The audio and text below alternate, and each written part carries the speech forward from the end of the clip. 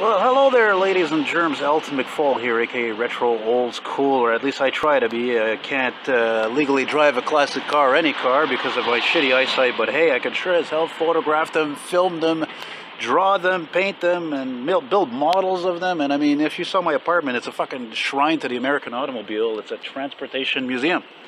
This Lincoln Town Car here from the 80s, I would say mid-late 80s, I have seen several times over the years here in the city. Uh, I even have a picture of it right near my old job uh, near L'Esplanade Street. I think this might have been when I first saw it, but uh, I did film it driving by, driving by in the spring, and here it is on Jean Talon in the St. Leonard sector, looking very sharp with its navy blue paint, vinyl top, tinted glass. It's of course factory stock turbine style wheels. Those are not hubcaps. They made those for several years, man. And uh, she's a driver. She's in good shape, but she's a just the slightest tattering, but you know, whatever. Single rear piece tail light there, uh, rear uh, backup light. Kind of a nice evening, jet plane landing. And uh, yeah, well, you know, it's funny. This actually reminds me of a video I watched sort of yesterday, and I mean sort of because I didn't watch the whole thing. But this guy, uh, I don't know, whatever. What are these popular car restoration channels? You know, guy buys a '67 Mustang and uh, the guy says they're repainting it. I'm gonna wait till these guys go by because they're throwing me off.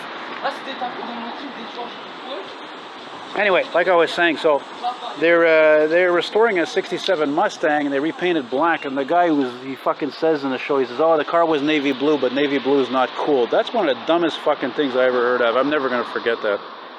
What the hell's wrong with navy blue? Of course, it's a formal color. It's what do you think of when it comes to cars? It's formal. You think of a government government vehicle, feds, a rich person, uh, you know, whatever. The, the list goes on and on. So what? You know? Yeah, ornament is gone. Typical of a city car.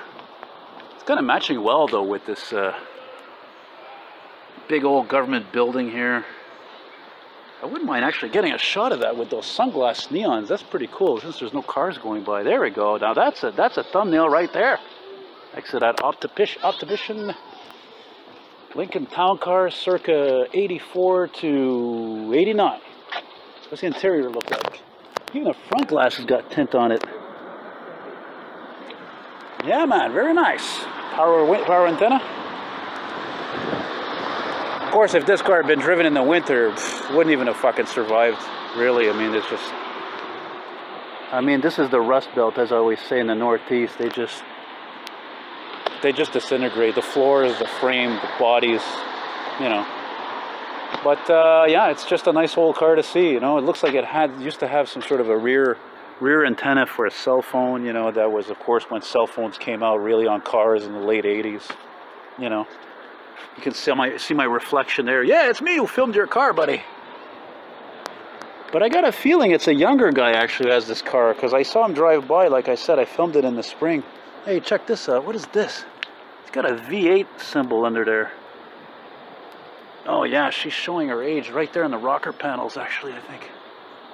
It's a little bit, a little wobbly.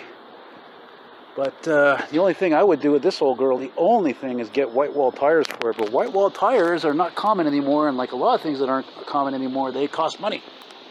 And she's got a sunroof. Anyway, diamond in the back, sunroof top, digging the scene with the gangster lead. Woo. Though you may not drive a great big Cadillac or Lincoln, and you got to take scrap like me. anyway, thanks for watching, guys. Take care. Adios. Check out the banner I think at the bottom is an advertisement. You can get some my uh, t-shirt or two from me there with my uh, original artwork. Take care. Thanks for watching. Adios. Merci. Bye-bye.